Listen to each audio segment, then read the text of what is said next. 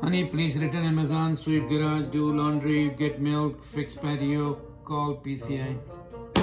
Yeah, yeah. Hi, honey. Hi. Oh my God, Shagufay, you know what happened today? I had to go to work today early. Imran called me. I had to call this person, that person, so many grocery, Ramadan coming. I have to fill it up my store. So much errands, man. You don't know. I'm just got a headache and I'm starving. Oh, wow. Chai banao. Yes, please.